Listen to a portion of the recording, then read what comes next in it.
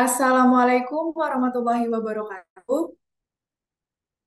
Waalaikumsalam warahmatullahi Your wabarakatuh. Excellency, Mr. Sucipto MPDBI, PhD, as the head of English Education Study Program, the Honorable Mam Hayansi, PhD, as our international guest lecturer, the Honorable Mr. Subando MA, as today's moderator, the Honorable all of the lecturers of English Education Study Program, and unforgettable all of the participants of today's webinar.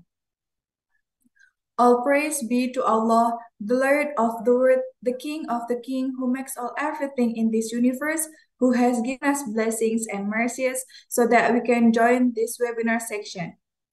And don't forget, praying and greeting we send to our Prophet Muhammad Sallallahu Alaihi Wasallam, who has brought us from the darkness to the path of the light.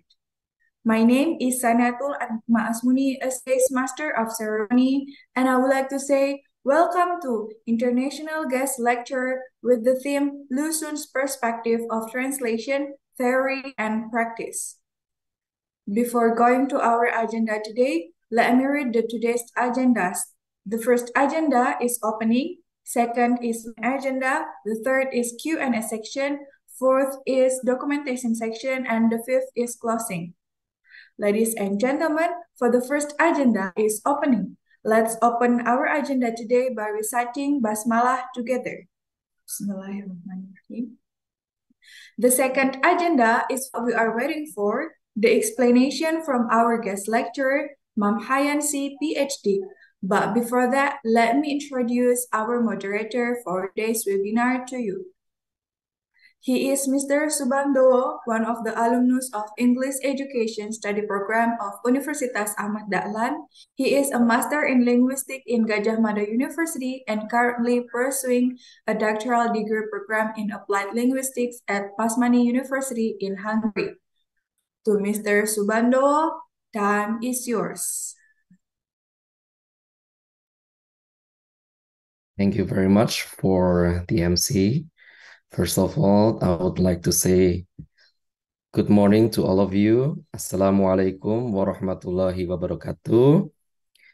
Thank you for the opportunity that today I will be moderating of this such wonderful event held by English Education Department of Ahmad Dahlan University, where I was studied uh, in the past couple of years. And let me introduce myself. Please call me uh, Dedi or Dowo. I am now working as a teacher staff in the Department of English Education at Universitas Muhammadiyah Metro Lampung. While now I'm doing my doctoral study at Pázmány Péter Catholic University in Hungary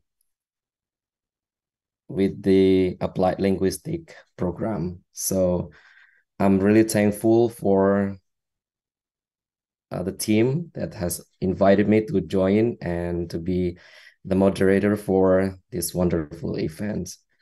And then I'm delighted to welcome to you all to this prestigious international guest lecture held by the department English department of Ahmad Dahlan University on the topic of Lu Xun's perspective of translation, which will be talking about theories and practices.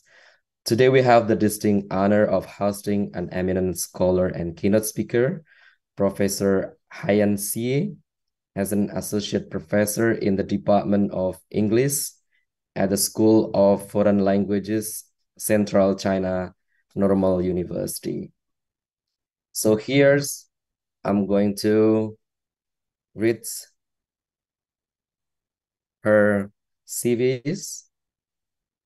Professor Xie was graduate from English Language and Literature in 2002 from English Department, Hubei University of Education in China. And then she continued studying translation, translation in 2007 from School of Foreign Languages, Central China Normal University in China.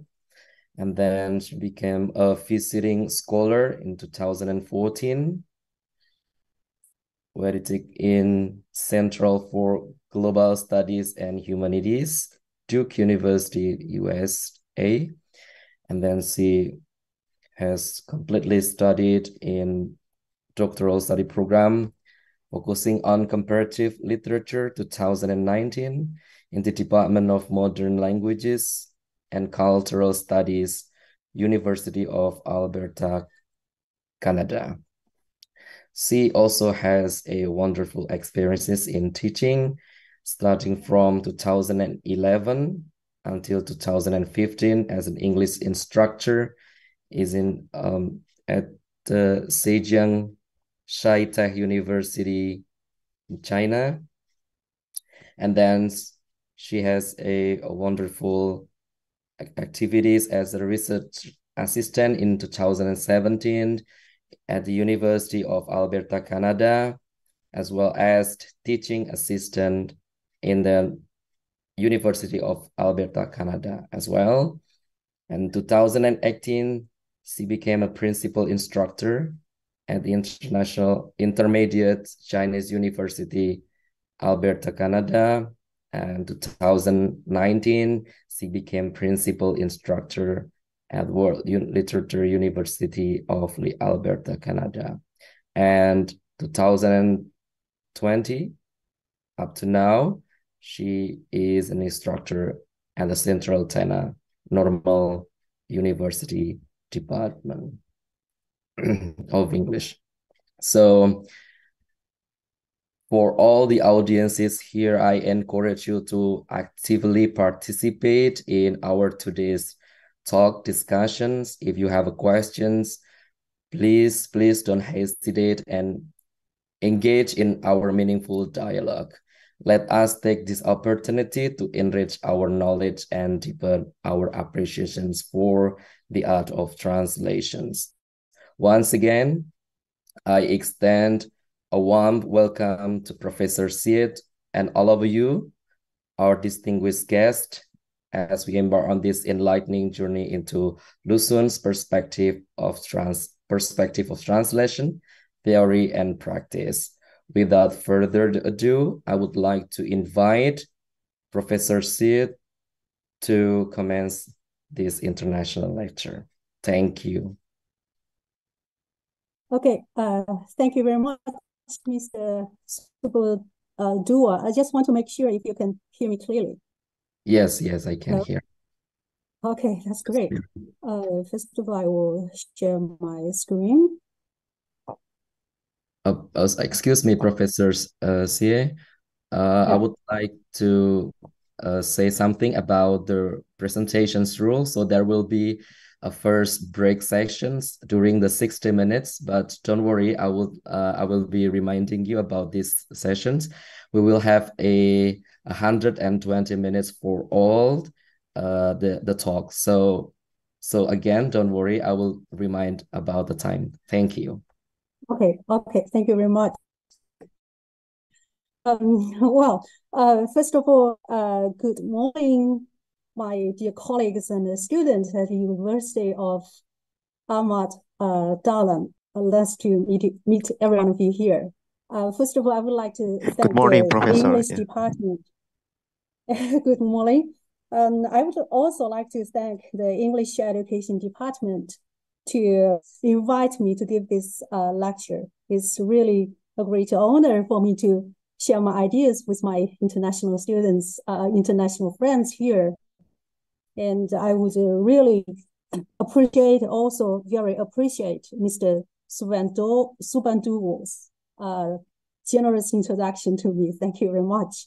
I will just, I will just uh, start with my talk, but yes, I think I need to to share the screen first of all. Okay, here we go.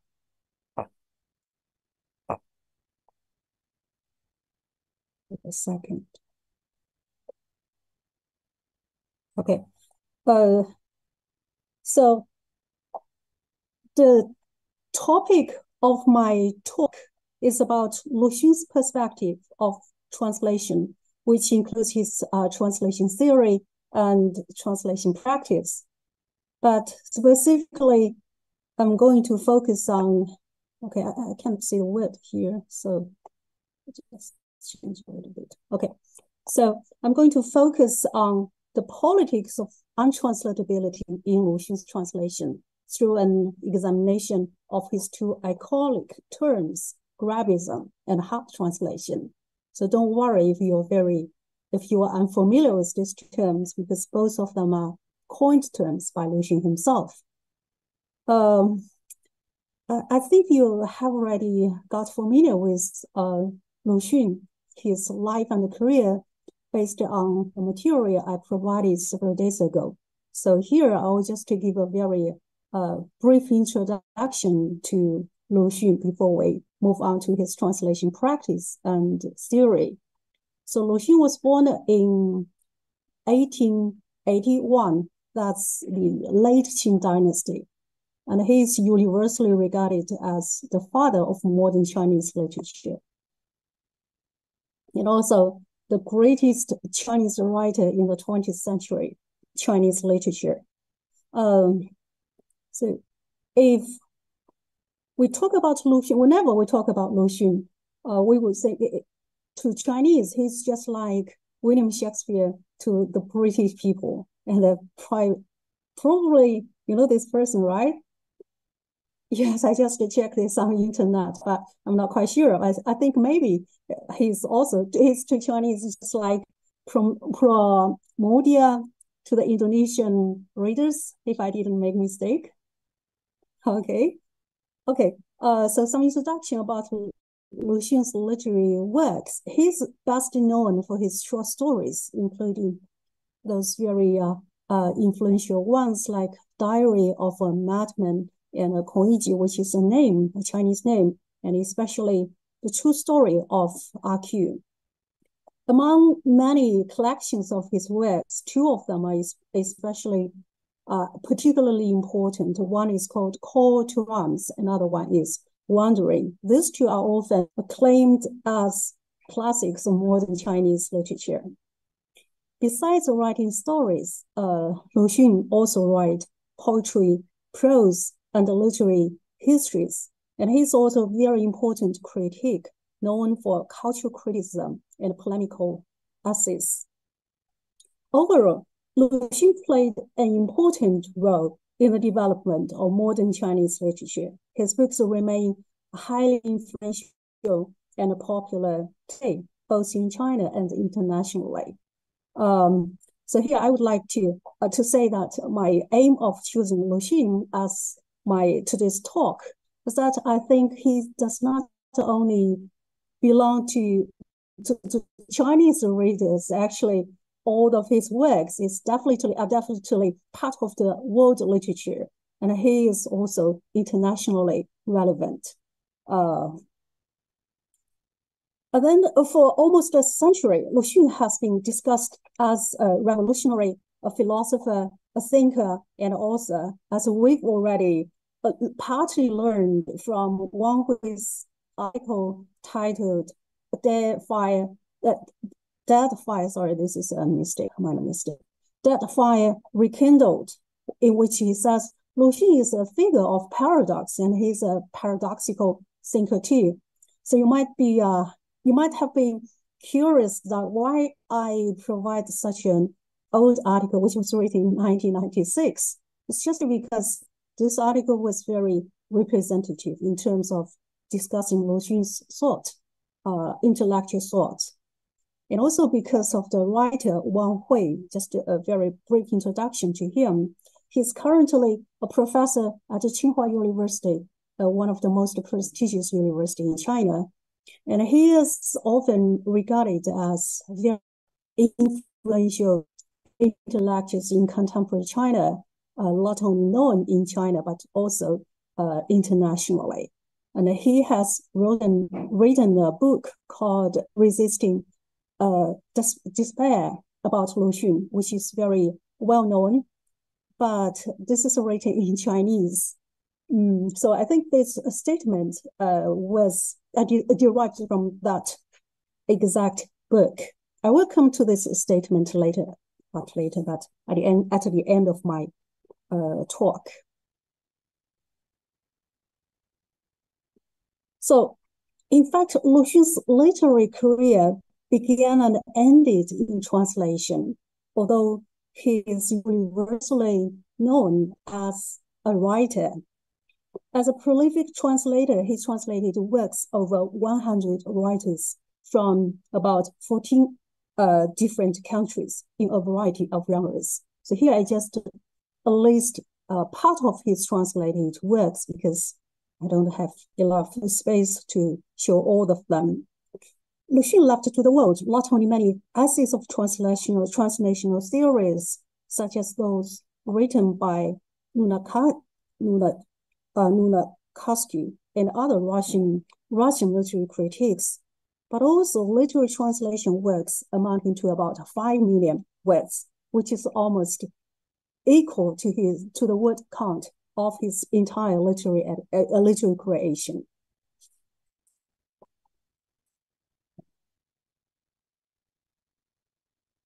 So while his literary achievements have been extensively studied for decades, Lu Xun's translation have been too controversial to be sufficiently discussed uh, to be sufficiently discussed and evaluated. Much of the debate on the last century centered on the obscurity and intelligibility of Lu Xun's translation, particularly his controversial strategy of hard translation. It's true that many of Lu Xun's translations, if regarded from the perspective of the interlingual transfer, cannot be considered satisfactory, not even worthy of reading from reader's perspective due to their unreadability. Uh, this explains to some extent the much less scholarship on his translation compared with that on his literature. Entering this century, scholars' attentions have largely shifted from translation from language per se to the ideolo ideology reasons behind his translation. This is also one part of my focus today, but I'm going to take an alternative perspective. I integrate Lu Xun's culture stance, culture proposes, or theory named Grabism into my investigation of Lu Xun's translation and attempt to disentangle the complicated relationship between Lu Xun's translation and his theory of Grabism so as to reinterpret him as a translator. I treat Lu Xun's translation practice and translated works as a self-contained system which is dynamic and constantly evolving. It's simultaneously, uh, simultaneously rooted in the Chinese intellectual discourse of national salvation and other entangled motivation of Lu Xun himself. So the, the, the following questions are what I'm going to explore in my talk today. Uh, first one, how do the two different aspects of untranslatability embedded in the discourse of Lu Xun's translation interact with his idea of Grabism? Second, how does the paradox of Lu Xun's translation practice provide insight into his position as a translation? And number three, how is Lu Xun's translation thought and practice relevant to today's cultural exploitations against the backdrop of this globalized world. um, I will first of all start with uh, this coined phrase, Grabism, and its implications for Lu Xun's translation. Lu Xun coined the term Grabism as a proposed uh, cultural strategy to learn from the West against the background of Sendism and the national essentialism in the early 20th century. The term Grabism first appeared in the essay of the same title published in 1933, but he didn't offer, uh, offer an explicit definition of what Grabism really is, thus leaving it open to multiple interpretations while simultaneously obscuring it. Rather than directly define uh, Grabism, Lu Xun denounced the phenomenon of Sendism by ironically commenting. China has been practicing a policy of closed doorism. It never goes out, nor are the others allowed to come in. However, since door was broken through by firearms, everything in China started to be sent away. I just want to advocate that we can be a little bit stingier in addition to sending. We must also take. That is that is takeism or grabism. Sometimes we just use these two words uh, interchangeably.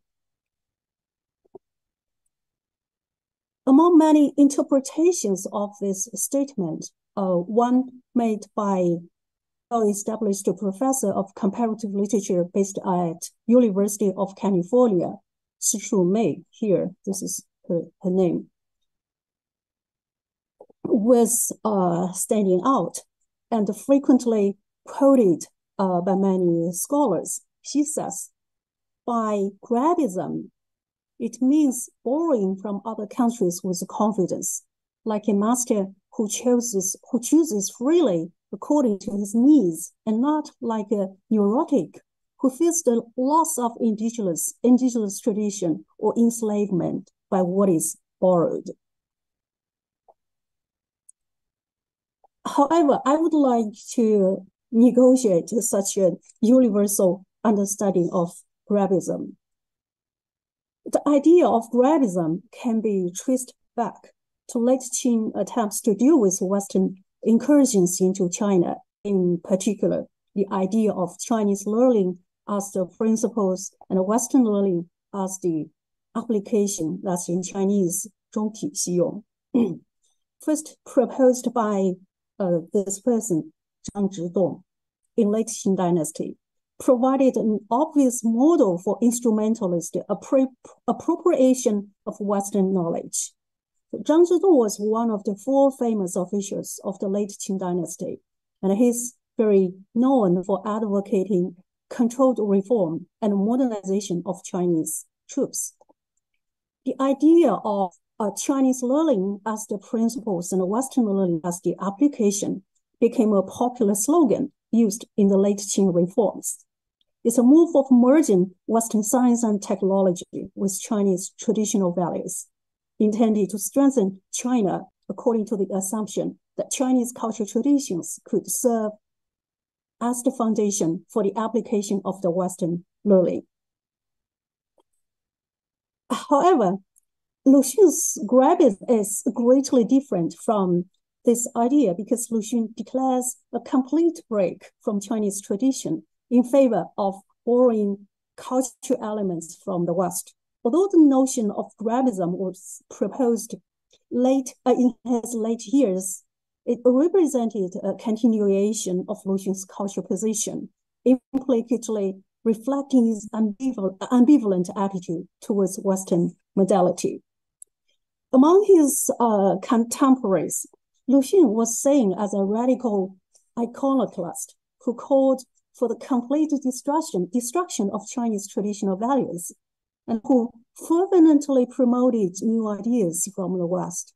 However, unlike some of his peers who advocates reforming the political system, Lu Xun believed that China's real problem was not primarily institu uh, institutional, but culture. He lamented that the Chinese people have been enslaved by the cannibalistic culture of the old society for long, resulting in Chinese national characteristic, a Chinese national characteristic that was marked by civility. Lu Xun believed the only way to eliminate this mindset of civility was to overhaul Chinese traditional values. This belief becomes radical with dismissal of Chinese literature. This is really very interesting because simultaneously he is writing uh, those works. He is doing the creative uh, writing. For example, he proposes to Chinese use of his time to read fewer or even not to read Chinese books. This certainly attract much criticism and condemnation from not only his peers, but also uh, from some contemporary scholars. The reason for Lu Xun's opposition to Chinese culture uh, traditions have been long discussed in Chinese scholarship. Some of the established scholars of Lu Xun studies cited his view of the civility of traditional Chinese culture as explanations for his opposition. But I would like to argue for a different, another possible reason, which may be found in the opinion of Lu Xun's peer, Hu Shi. A little bit introduction to Hu Shi here. He is a leading figure of the May first generation of Lu Xun's generation. Probably um, he is more influential in Lu Xun, especially as a politician. So Hu, uh, Hu Shi says, I advocate wholesale westernization, but at the same time, I point out that culture has its own inertia. Wholesale westernization will naturally result in a tendency towards compromise. The ancient said, taking the top as our example, we attend only to the middle. Taking the middle as our example, we fall miserably low.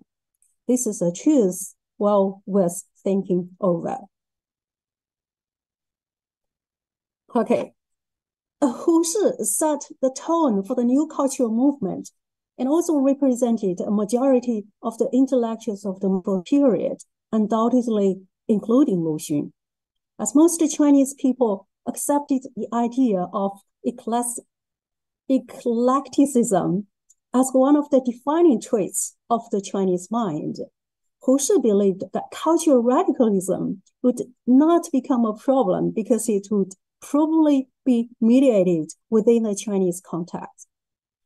Hu's position, a perception of Chinese characteristics in some way echoes Lu Xun's view.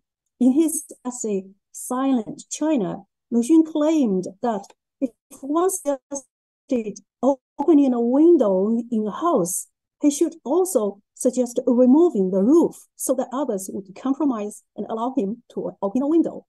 In this sense, Lu Xun's so-called radical cultural stance can be understood as expediency and not necessarily as a long-term solution.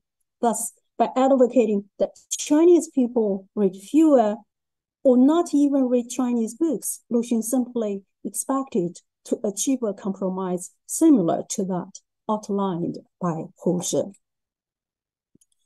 Uh, here, I have no intention to make any judgment as to whether Lu Xun entirely is entirely against the Chinese traditions or not, which is really a complicated issue that has been discussed elsewhere in Chinese scholarship. However, Lu Xun's sentiments did most likely influence his choices over the course of the introduction of Western literature, Western culture to China. For example, although most intellectuals of his time regarded the borrowed idea of democracy and the science as the most important prerequisites to the modernization of China, Lu Xun held rather complicated views of both.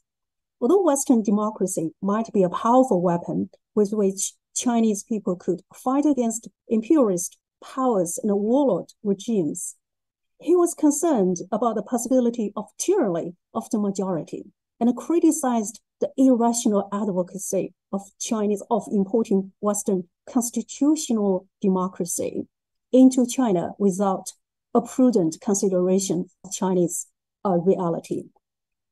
And he thinks that an overemphasis on science could lead to a harmful depart, uh, de dependence on materialism and a lack of human concern. Thus, although according to the concept of Grabism, all that was good and useful for national salvation should be drawn on and absorbed, this sentiment by no means endorses the idea of, quote, borrowing from other countries with confidence, quote, and without, quote, fearing the loss of the indigenous tradition or enslavement by what is borrowed, quote, as the philologist Shi Shumei thinks. Instead, what seemed incommensurable in the logic of Grabism was that in the course of taking useful ideas from the West, the risk of self-colonization was always present. And the challenge was thus to despair the goals of coloniality embedded in the Western discourse. For Lu Xun, the solution is very simple. In one of his essays, he wrote, if one sees the opium, he does not publicly throw it into the cesspool to demonstrate his resolute determination of reform. Instead, he sends it to the drugstore so that it can be used to treat patients. Obviously, Grabism provides a theoretical guidance for Lu Xun to establish a constructive manner of communicating with and learning from the West by sticking to the idea of taking whatever is useful from the West and selectively using what has been taken. Grabism was a compromise, compromise between the goal of national salvation and Lu Xun's reserved attitude towards Western modality. Uh, here, I would like to digress a little bit and clarify that by the term Grabism, I do not uh, refer only to Lu Xun's essay of the same title or his ideas following the publication of that essay in 1934. Rather, I take it as an idea that, that was gradually formed and matured as a cultural theory throughout Lu Xun's life. Lu Xun most likely constantly adjusted the exact contents of Grabism, though all revolving around the central theme of borrowing new ideas from the West to rejuvenate Chinese culture. And this was evident in his translation practices in different periods of time. Within the framework of Grabism, translation as a powerful tool with which to undertake the task of taking everything useful from the West would confront the problem of incommensurability as well in its paradox of simultaneously resisting Western hegemonic discourse and embracing Western modality.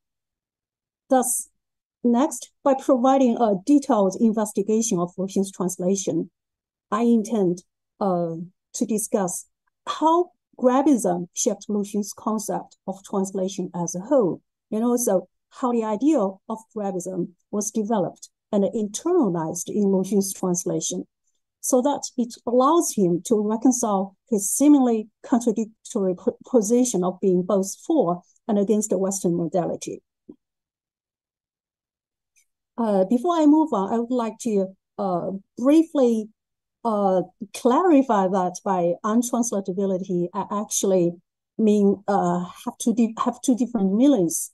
I will discuss it from two different aspects. The first aspect refers to the undefinable or untranslatable nature of Lu Xun's translation in his early career. And uh, um, the different aspect is that untranslatability is taken as a political strategy related to Lu Xun's hard translation. I will move on with the first aspect. It's almost universally accepted in academia that the notion of translation is historically and culturally determined, which indicates that translation does not necessarily have a universal meaning. So the scholar uh, Ronit Ricci says, the very word translation with the cultural connotations and the expectations it carries is untranslatable. So here by untranslatable, it is, is undefinable under the guidance of his theory of Grabism, which, as it shows in my uh, subsequent analysis, carries the cultural connotations and expectations peculiar to him at different points in time. The nature of Lu Xun's translation,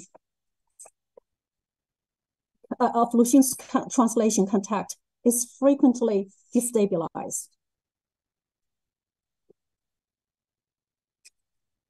In fact, the notion of, of translation used in Lu Xun's context is far less clear if his early literary works and translations are taken into consideration.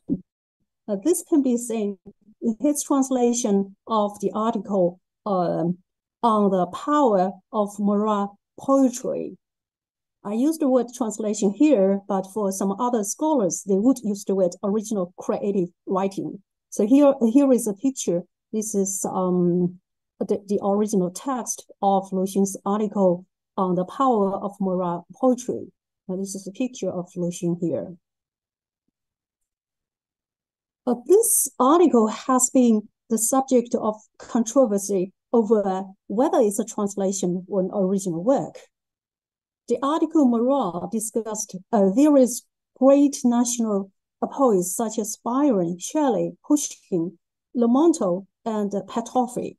As part of various great national poets, um, they are, are taken as Lu Xun's purpose of seeking new voices from abroad and calling upon the warriors of the spirit among Chinese people. According to the Japanese scholar Kitaoka Masako, his, uh, his study of the source material of uh, two of the essays, nine sections, I mean, Lu Xun's essay, of nine sections were taken from both uh, the Japanese scholar Kimura Takataro's Byron Great Saying of the Literary World, written in 1902, and his translation of Byron's The Corsair with his foreword and annotations. In a former, Kimura eulogized Byron's spirit of resistance and expressed his praise for the powerful and the contempt of the weak. Lu Xun selectively used this material by retaining most of Kimura's ideas and discarding the idea of contempt of the weak. In the letter, he adopted the material concerning strong will and a revolt against oppression without mentioning Byron's ideas of hedonism and feminism. The remainder of the essay was compiled in the same manner, with content that did not suit the purpose of Mara absent from the text. So the article of Mara is thus an early example of Lu Xun's process of Grabism, influenced by his interest in nationalism and the grand nationalist discourse of his time. Most scholarship on Mara have treated as Lu Xun's original a creation rather than a translation, primarily due to its contribution to Chinese literary criticism and to the political ideology that it uh, that informs it.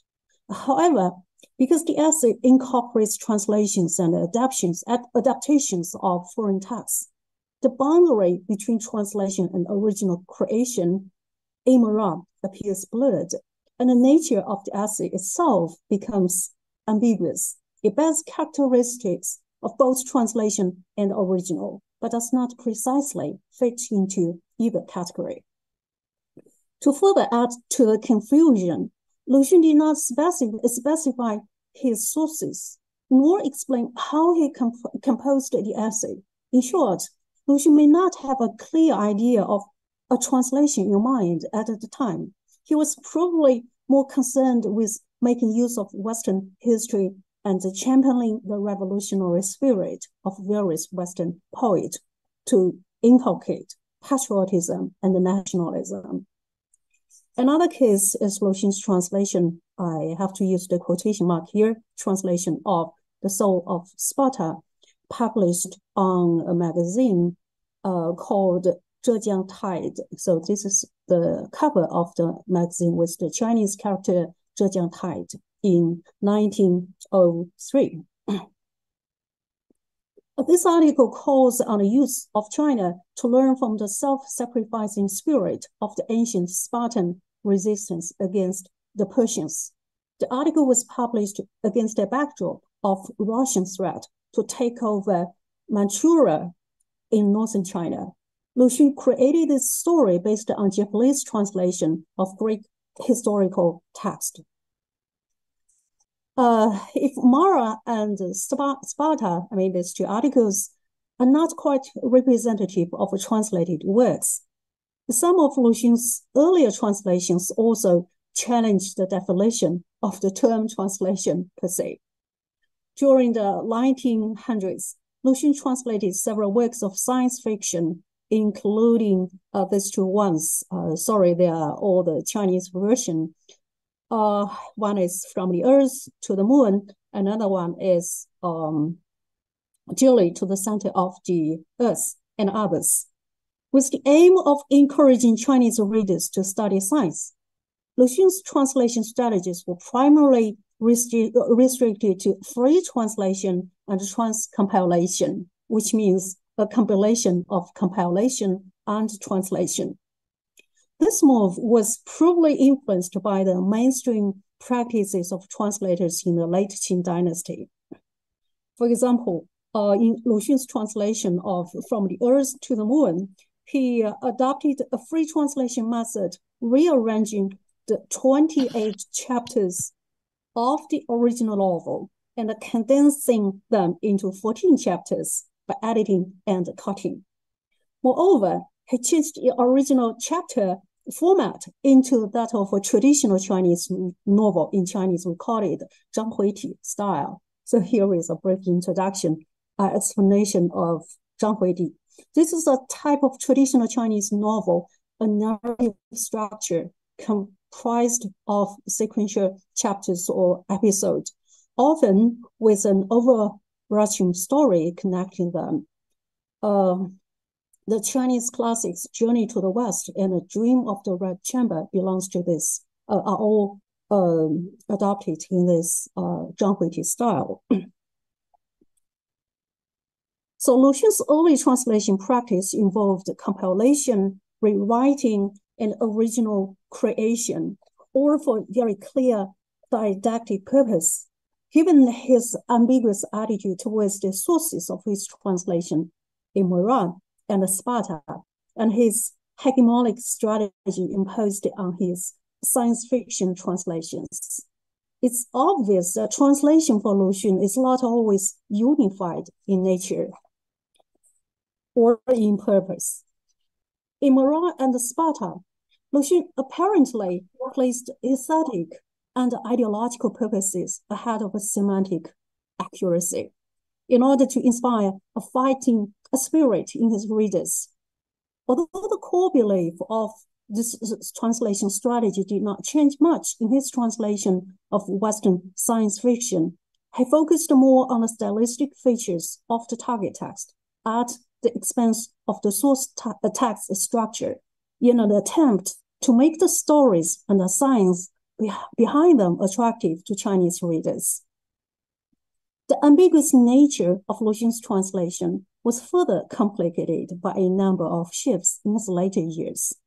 Comparing his early translations with those produced since 1909, we can see a clear rupture in his a perception of translation, particularly with regard to subject matter translation strategy and translation language. Some of the trends in his later works seemed almost to negate his early work, such as his shift from science fiction to pro-humanist anti-war works, from transcompilation and free translation to hard translation, and from classical Chinese to vernacular Chinese. To understand why Lu Xun changed his translation strategies completely, it's necessary to contextualize him in the intellectual politics of the beginning of the 20th century, particularly since around the Chinese Revolution of 1911, which marks the overthrowing of the Qing dynasty.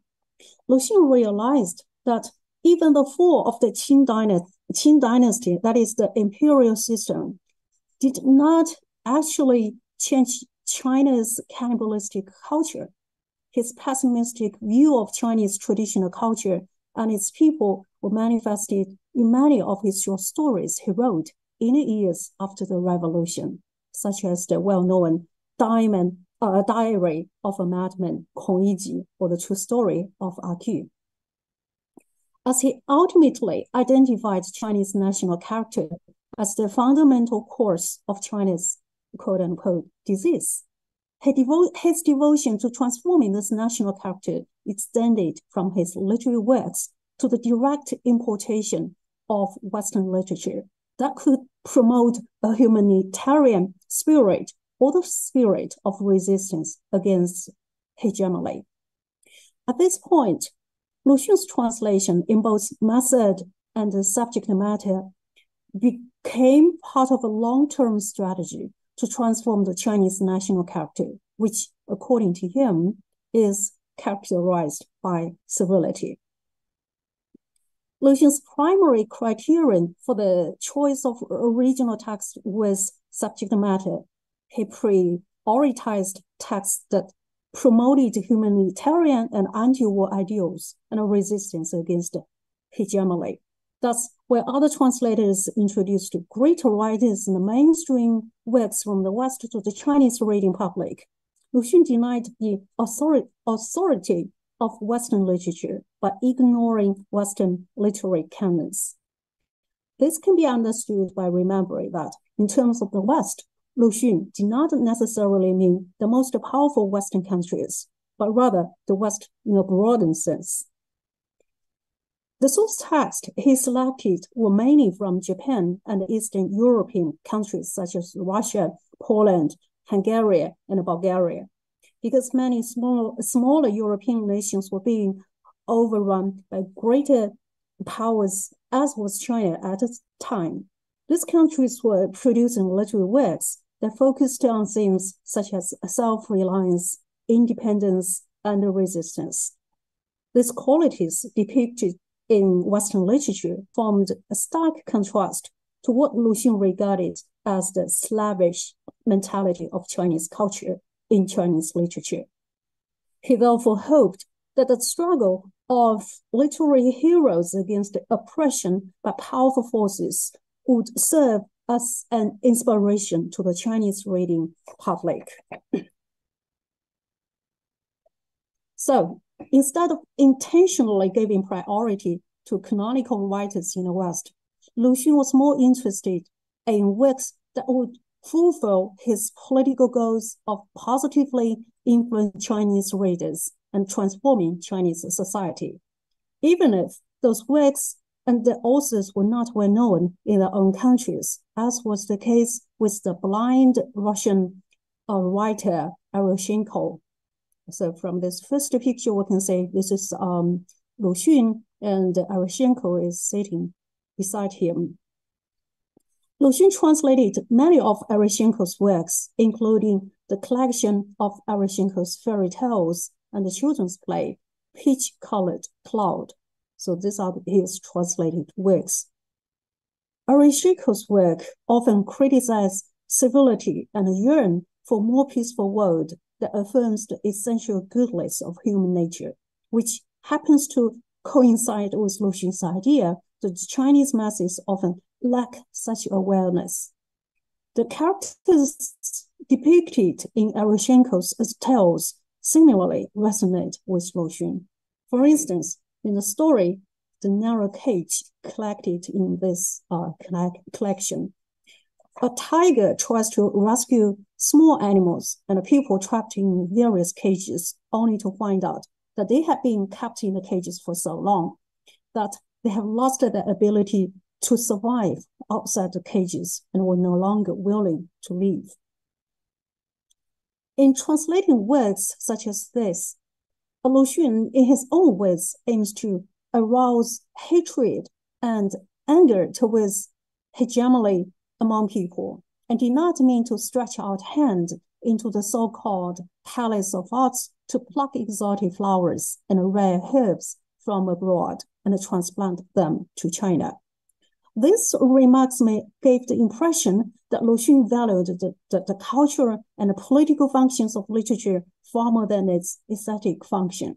However, when considering the historical context, the national salvation overrides everything else, it's not difficult to understand why Lu Xun highlights the didactic function of literature in his translation. In general, Lu Xun's standards for selecting source texts may have fallen out of favor today, but in the context of his time, those standards were significant. His translation practice unified his seemingly incompatible goals of appropriating Western literature to educate Chinese readers and resisting Western hegemonic discourse. If I examine Lu Xun's translation practice from a Western theoretical perspective, as many Chinese scholars actually did, we would find something very interesting here.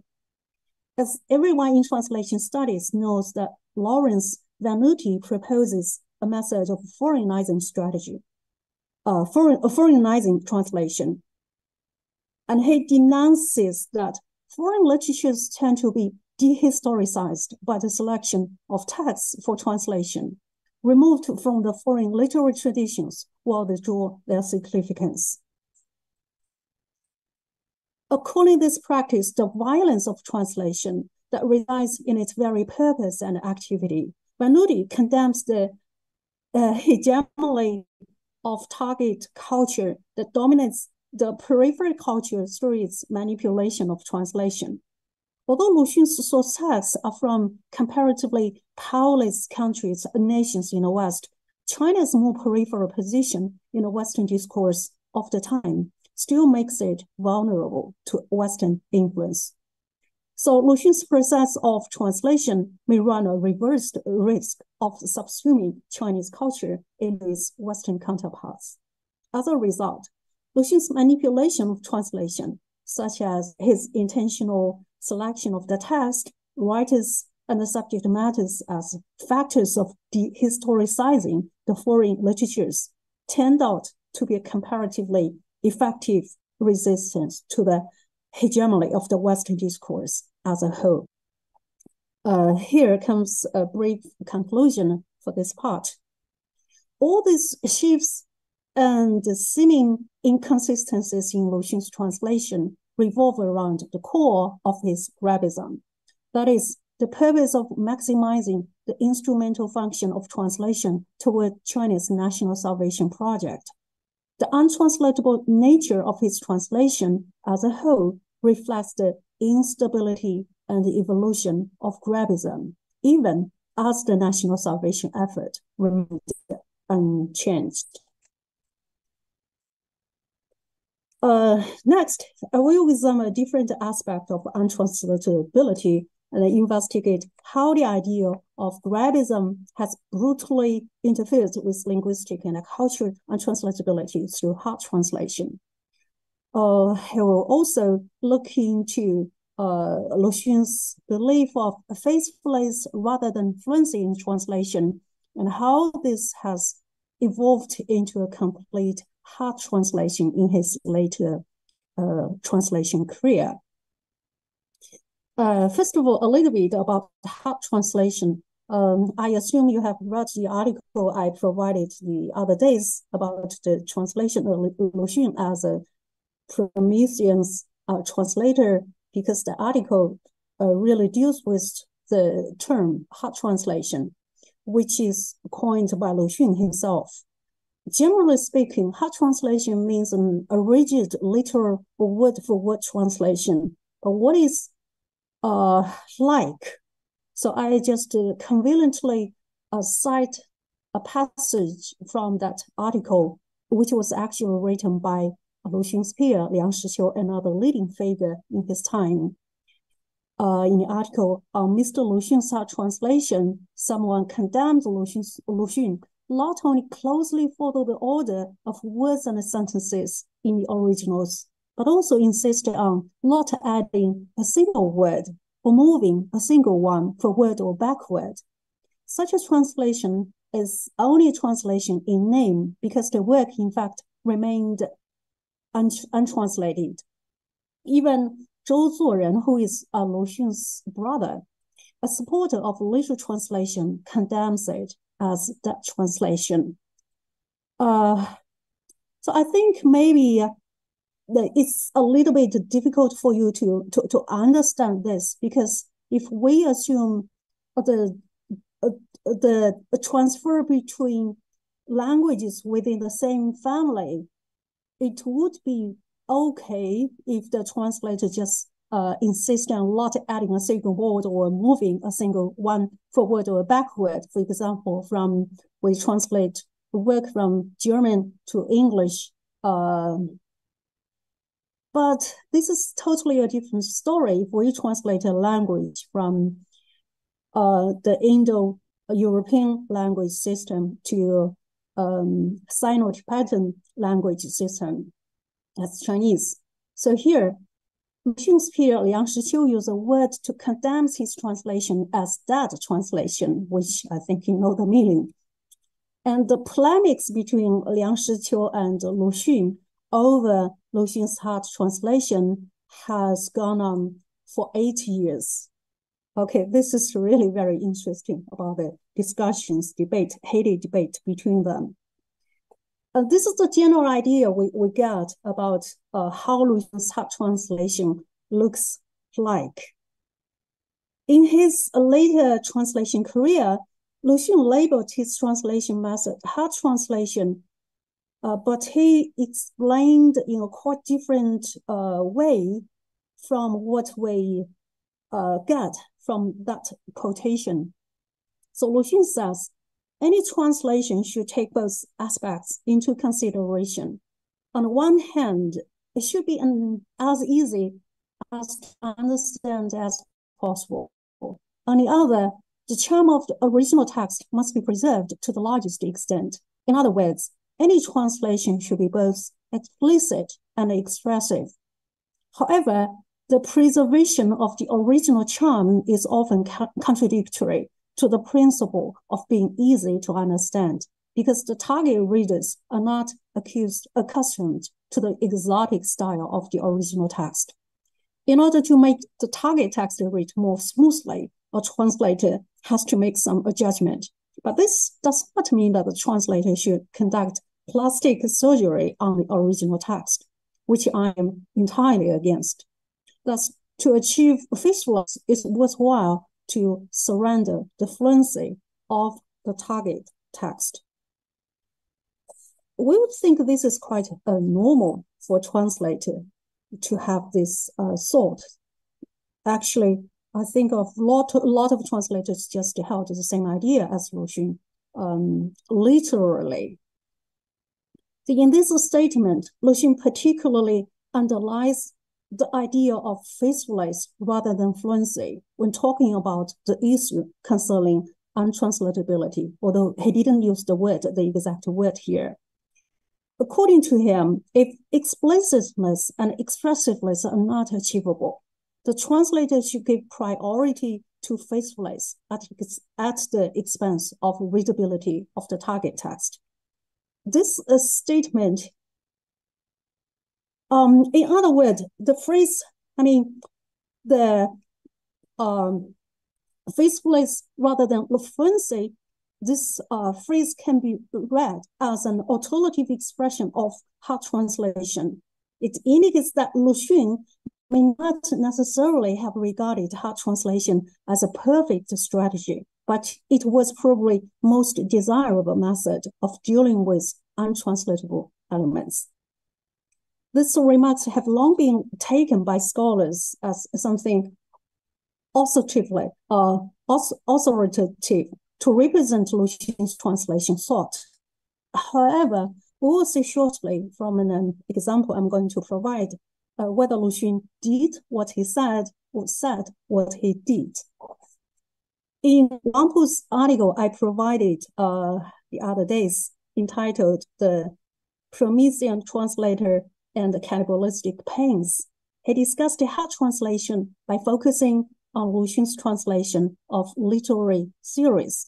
In fact, the discussion of Lu Xun's translation commonly starts with his translation of literary theories or criticism and ends with his political appeal for a better understanding of the real uh, proletarian literature, which highlights his contribution to the revolution as a leftist writer or translator. Well, I quite agree with this idea or argument. I think things may turn out different if we take a different research perspective. Therefore, uh, instead of focusing on his translation of literary series, I would like to continue to look at his translation of literary words again to see if it's a different story. Uh, this is an excerpt taken from a Russian author's novella called Worker Shepherd, translated from Russian to German and then was translated into Chinese by Lu Xun. I guess most of you just um, do not speak German. Okay, so anyway, given German and English belong to the same language family, so I, I have roughly transferred the text from German into English so that we can have a rough idea about the stylistic, the content and the stylistic feature of the text. So let's just come to the English version. From the English text, you can observe whether the passage is hard to understand or not, and whether the style is unrealistic, and whether there are many professional expressions that probably that probably do not have equivalent expressions in the target language, and so on. The story of uh, worker Shevyrev centers around a debate over whether a revolution should be violent or not. This excerpt depicts the protagonist uh, Shevyrev's living environment through the eyes of a new talent. As you may say, the text is not theoretical or with ornamental language. Even one who does not have a good command of English can understand the text without many efforts. But what about Lu Xun's translation? Uh, I just want to describe to you that whenever I show the Chinese version to my Chinese student, I would always see the jaw-dropping look and then over enjoyment on their face because they think they can definitely do better than Lu Xun. I do have a Chinese version here, but I I don't think anyone here understand Chinese, so we'll just uh, ignore it and turn back to the English version. But I apologize that I, I can't offer a detailed text analysis considering the target language is Chinese. But briefly speaking, in the target text, Lu Xun left the original order of the syntactic elements untouched. In German, as in English, several adjectives can be juxtaposed before a noun, and a long sentence can consist of one or more clauses. But these syntactic forms are uncommon in China, in, in Chinese. Instead, modifiers usually appear as phrases or clauses rather than as a string of adjectives, which would sound awkward and weird in Chinese. Also, the common practice of translating long or complicated sentence from English into Chinese is to break the sentence into several small sentences. But Lu Xun kept the long sentence intact and placed the long modifiers before the noun, even without before the noun, even without changing the order of the modifiers. Therefore, the literal text, I mean the target text, reads like an obscure theoretical text. Notably, what lies in his pro problematic translation is not an issue of untranslatability. Or I may say, it's not that Lu Xun was not able to provide a more readable translation, but that he deliberately ignored Chinese syntax by implanting a Western syntactic structure into the target text. That makes his translation unreadable and unintelligible. In addition to his syntactic choices, Lu Xun also intentionally maintained exotic cultural elements. For example, in order to retain the foreignness of the Russian term uh, samovar, which refers to a Russian metal utensil for making tea. Lu Xun used transliteration rather than re replacing it as a close equivalent or something that has the same function in Chinese culture. He did use a footnote, which, however, still cannot accommodate Chinese imagination of what samovar is. Lu Xun admits in his po uh, postscript to the translation of the work that apart from some places in the text where I have been forced to do otherwise, I have translated this word for word.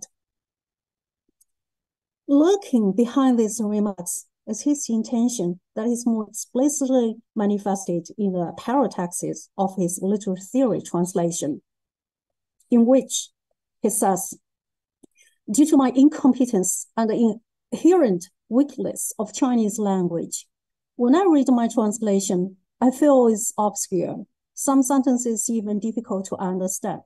However, if I break the clause into several small sentences, I'm afraid the forceful tone of the original text will disappear in the target text. Therefore, to me, there is no way out except for hard translation. My last hope is that readers are willing to try hard to keep reading. These uh, remarks suggest that for Lu Xun, the weakness of the Chinese language an important reason, alongside that of the translator's quote unquote incompetence, for the untranslatability of the original sentence structure. As there seemed no better way of precisely expressing the original text meaning in the target language, Lu Xun appeared to have involuntarily resorted to hard translation. However, paradoxically, rather than considering the differences between the language and the culture of the source and target text, he underscored the impreciseness of Chinese vocabulary and argued somewhere else that the lack of precision in our language proves the lack of precision in our way of thinking. We are model-headed. As a result, he endeavored to put some heterogeneous syntax into the target text so as to cure the illness of the Chinese language and the Chinese thought pattern along with it. What lies behind this logic, however, is an imperceptible ideological manipulation embedded in the discourse of untranslatability, which goes far beyond the political revolution, as many scholars argued. Deliberately downgrading the Chinese language, Lu Xun aimed to clear the obstacle of reforming Chinese by introducing new grammar and vocabulary from Western languages through translation. Hence, hence his reason for using hard translation was not to seek equivalent inter, interlingual transfers between Western language and Chinese at all. Thus, for Lu Xun, the claim of untranslatability went far beyond the linguistic scope, scope. And also, the hard translation of Marxist literary theories only account for a small part of his move of Grabism. The phenomenon of untranslatability, whether or not in a real sense or in an intentional sense, provides a different perspective for Lu Xun to implement his cultural theory of Grabism in a discourse of translation and to possibly transferring Chinese language and culture. In other words, Lu Xun intentionally treats Chinese culture and its Western counterpart as two isolated particularities, as a manifestation of their incompatibility and translatability facilitates his intention of replacing one with the other. The readily he readily takes it as a cultural expedition, though this process is sometimes interrupted by his uh, instinctive resistance to the for the reasons discussed previously. Therefore, therefore, Lu Xun's choice of translation is essentially a choice of culture under the guidance of Grabism. This, to some extent, is in accordance with Emily Apter's notion of the politics of untranslatability, although only um, uh, her starting point is different from that of Lu Xun, citing Gerald Cutts' observation that what cannot be expressed in any human language lies outside the boundary of translation and outside the field of language too. Apter highlights the political uh, implications of the dialect of translatability and untranslatability. Similarly, for Lu Xun, the concept of the untranslatable represented a rich side for political inquiry rather than merely a technical problem to overcome.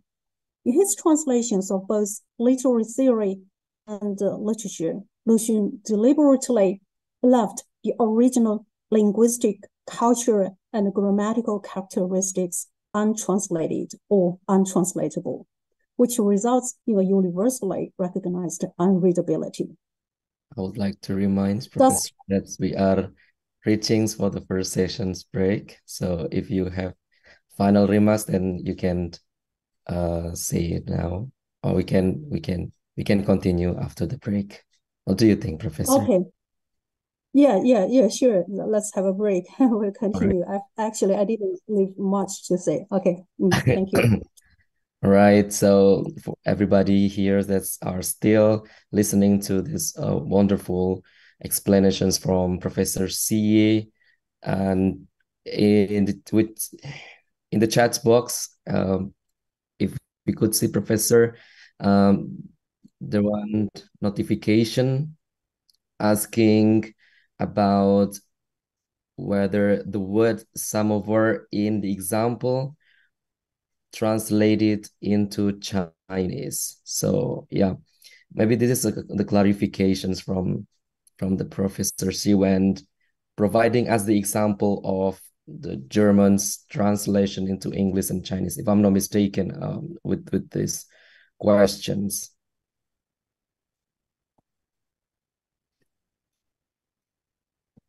Uh, Do you want to uh, respond? Uh, sorry. Yeah, uh, sorry. Uh, would you please? Uh, sorry. Would you please just say it again? So oh, you okay. are asking the translation from German to to Chinese. Uh, now I'm reading the, the the the the the notifications from the chat box. If you could also open the chat box, so there will be one notifications oh, yeah. mentioning oh, that oh, yes. word samovar in the example translated into Chinese. Is that right?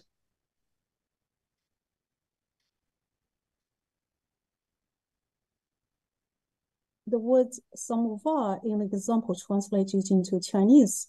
No, uh, that word was was not actually translated into Chinese. It's a uh, uh, it's so we we can just uh, um know learn the sound of that word. That's transliteration. It's not it's not actually translation. So it's just it's just the same uh, strategy of translating uh, English names into Chinese. We actually just try to um, to make it sound the English pronunciation of the name, but we actually don't know the meaning of the English word. Yeah, this uh, this is not actually translated into Chinese. Okay. But he, he did add a, a footnote there yeah, to to explain that this is a, a utensil used to cook uh to, to cook tea. Yeah, he just uh, explained this in his footnote without an exact translation into Chinese. Yeah, I hope I make it clear. Thank you very much for the response. So everybody, let's if you have uh, another um, ideas, I don't know something that it is uh, unclear coming from the explanation. So please, please, please uh, use, you can use the type box uh, to write down your ideas. We can, now we are having a uh, first break. So if you have a, con I, I don't know, if you have, if you, if you do not understand the concept about the Lu Xun's translations theory, so please do not hesitate to write down the questions as well before uh, we are heading to listen the next talk from Professor Xie continue the materials. Let us see whether the audience are still here. During the next uh, one minute, we will have uh, another talk. Uh, we will have a continued talk from Professor Xie. So please if you have any questions as well, you can write it down in the chat box. So now we are going to listen again from the Professor C in explaining the Lu Xun's perspective, theory, theory perspective, translations perspective. So okay, so um, and I will continue, right? Okay, wait a second. Yes, please. Okay, thank you.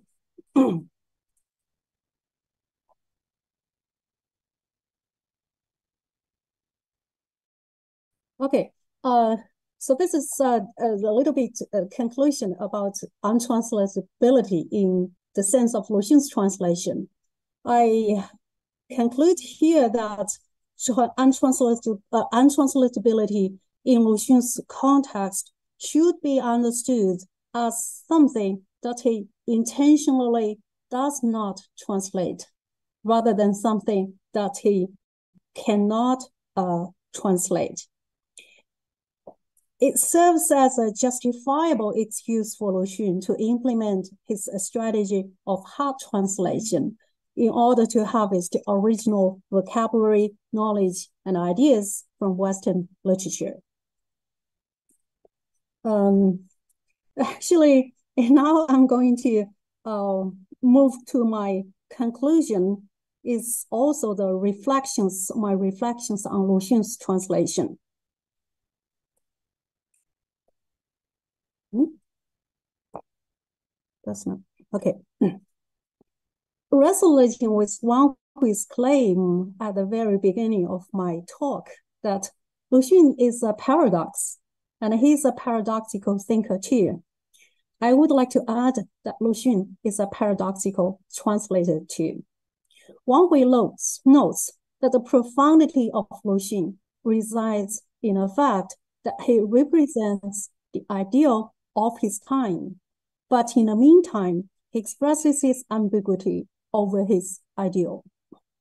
This conflict in Lu Xun's thought can be viewed as deeply rooted in his gra uh, grappling with the tension between fervent embracing the need for, for societal and cultural uh, renewal and unconsciously resisting Western modality.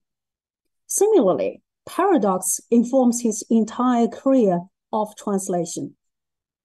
Lu Xun refashioned translation into a means of simultaneously deconstructing and reconstructing Chinese culture based on his idea of Grabism, the formulation of which is simply based on his perception of an urgent need for national salvation, but also on the long term of reforming Chinese character, national character. It was developed from a difficult journey of recurrent self-affirmation and self-negation. About how best to grab and how to deal with what has been grabbed. Until it was finally established and epitomized in his iconic method of hard translation. Overall, Lu Xun's legacy as a, par paradoxical translator is rooted in the duality and the contradictions present in the untranslatable nature of his translation, as well as his incessantly rectified approaches to translating English literature into Chinese. While his translation was instrumental in introducing Western literary works to Chinese readers, his methods and perspectives on translation showcased a paradoxical interplay of various elements, as I, I discussed previously.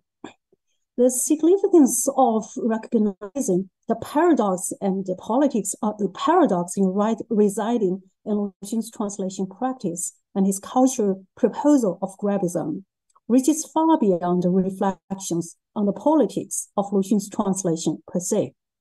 It offers certain dynamics that are relevant to today's cultural exploitation around the world and prompts our reflections on contemporary translators' engagement in cultural exportation and importation against the backdrop of globalization and a call on the diversity of world uh, culture and literature. uh, so here uh, goes some of my brief uh, thoughts. the contemporary relevance of Lu Xun's translation. Uh, firstly, cultural authenticity versus uh, global accessibility. In today's globalized world, successful cultural exportations and importations involve a similar interplay between global engagement and the preservation of local identity. In other words, balancing authenticity with accessibility is a constant challenge. we are always confronted with the questions such as how to navigate the balance between preserving our own cultural authenticity and achieving optimal accessibility to international readers while engaging with global influences, and how cultural products can be presented in a way that resonate both locally and internationally. But more specifically, I would, although I do like uh, Lawrence Venuti's idea of foreignization, but I think it's really uh, it's not maybe it's not a good idea to just just juxtapose the foreignization with domestication because uh, what I've learned from Lu Xun's spirit and Lu Xun's way of translation is that we can't treat everything static. Okay, and the second is individualism versus social responsibility. Cultural exportations and importations inevitably grapple with uh, grapple with pres presenting individual voices while addressing broader social, societal concerns. But there is a conflict between the two, which undoubtedly informs Lu Xun's entire career of translation. Can cultural products, uh, specifically translation, translate, translated works, Specifically, the translated works carry both personal narratives and reflections on collective responsibilities. And the third, a cultural reflections versus transformation. Lu Xun selectively chose to translate those words that can serve as a response to the societal, social, and political crisis of his time and called for tra cultural tra transformation. Today, cultural exportation can be a tool for reflecting on contemporary issues and fostering positive change.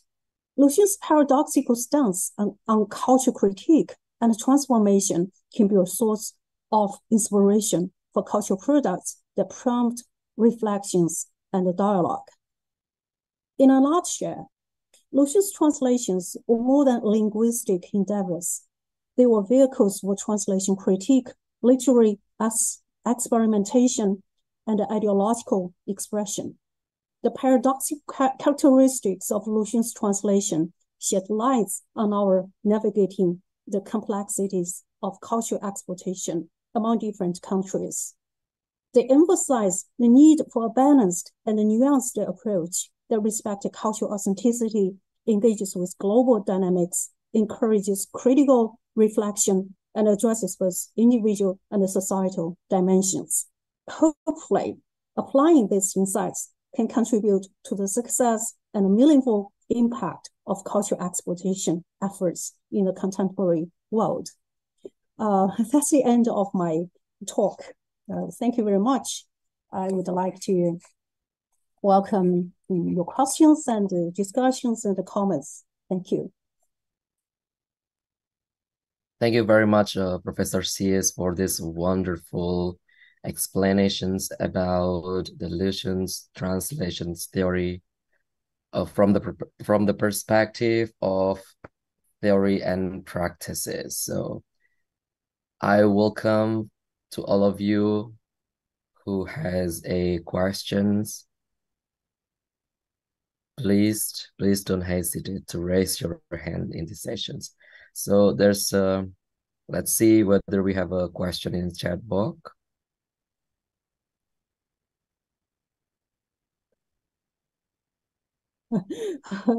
okay. Um, okay, I like this question. Very interesting.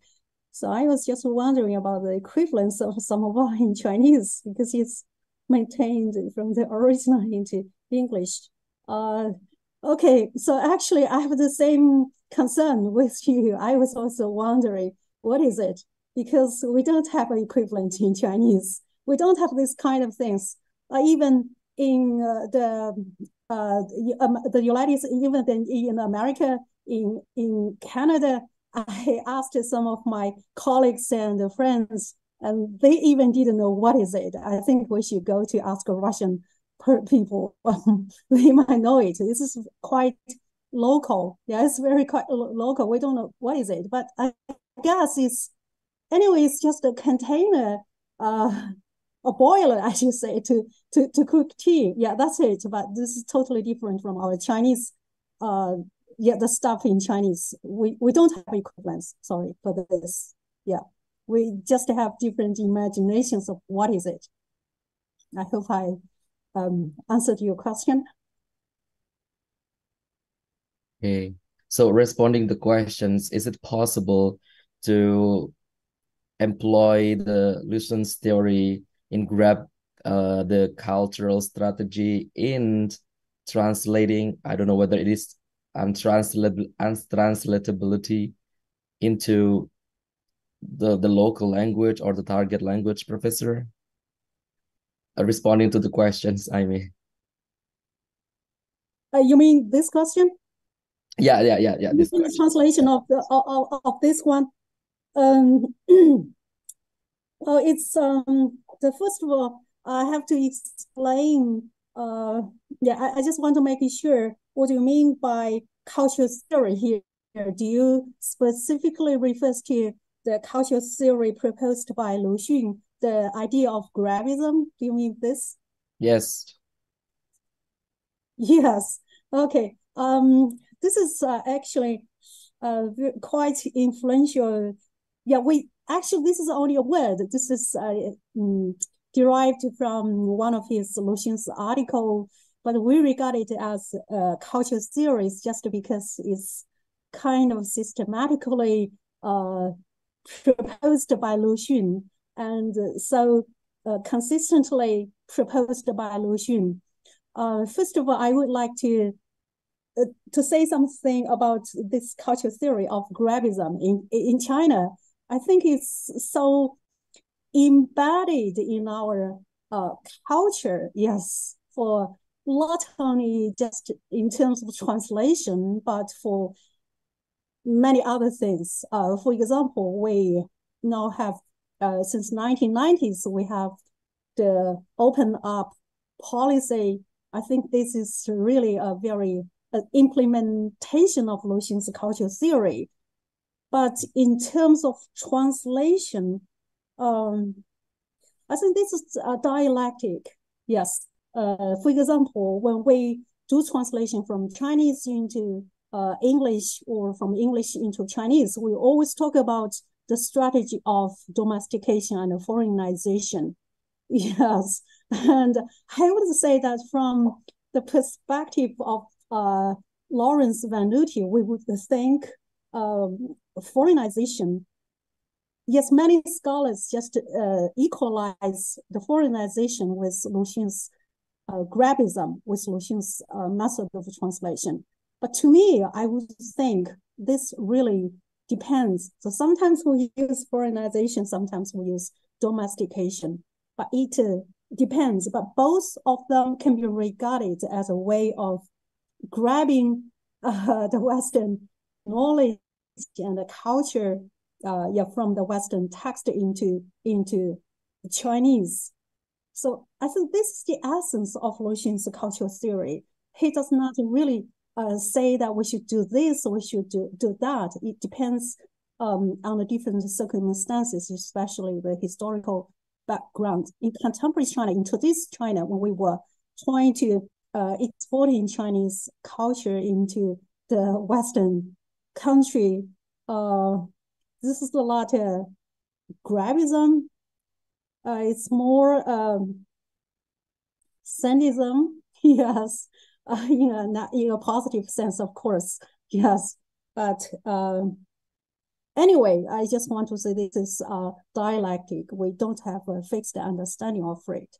Mm -hmm. Yeah. Okay, okay. Let's see whether we have another question. Um, okay, Mr. Subandowo. Oh, Let yeah. me try. Please, please okay. just say. Okay, thank you. What a incredible perspective, uh, Professor Xie. I just uh, want to confirm uh, some points. Uh, first, uh, Lu Xun's uh, thought seems to be uh, provoking, yeah, and influential theories yeah, on literature and society at first. And you explained he explored much of um, societal change and then cultural conflict and the struggle for self-realization in his works. And on, on the other hand, he uh, tried to resist a Western hegemony. Correct me if I'm wrong. Yes, you are correct. Yes.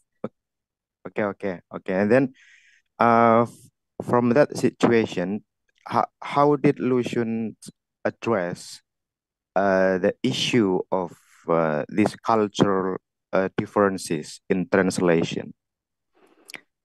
Okay, that's the first. And the second one,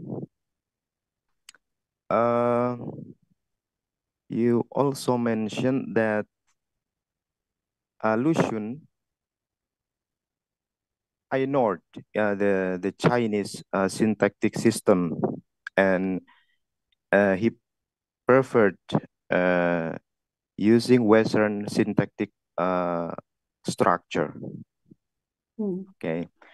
And then in terms of uh, the untranslatability, then isn't it uh, a bit uh, tricky since uh, potential distortion of uh, the intended message of the author might be existed. Um, How, how, how to bridge how to bridge uh, these uh, linguistic uh, and cultural gaps because um, uh, in terms of uh, untranslatability uh, I think uh, what Lu Xun's uh, perspective yeah, to honor uh, the Chinese uh, syntactic system. Yeah. I think uh, in terms of the untranslatability, it's um, a bit uh, tricky. What do you think? Yes, yes, uh, that's the point. I mean, I so I'll first uh, answer your respond to your second question. So I I don't think this is a very tricky issue when we talk about the untranslatability. So this is also the reason why I refer to Emily Apter's uh, his, uh, her monologue about the politics of untranslatability. So, you know, I would definitely think that the translatability and the untranslatability are not binary. Yeah, it's uh, it's just a, a switch of um, strategies, not only for Lu Xun, but probably for many uh, many translators. But in uh, in speaking of the distortion in translation, because uh, Lu Xun's, because of this untranslatability, I think this is a great issue. That's why uh, we Chinese readers do not really like reading Lu Xun's uh, translation because we couldn't understand it. That means he, he can't really uh, express what the uh, the original or what the authors originally expressed in the in the text. So from the interlingual transfer, from this perspective, his translation, uh, most of his translation works may be um, um, invalid, a lot of readable, let alone saying that uh, it's a, a problem of untranslatability. It really, it does not actually have something to do with the issue of untranslatability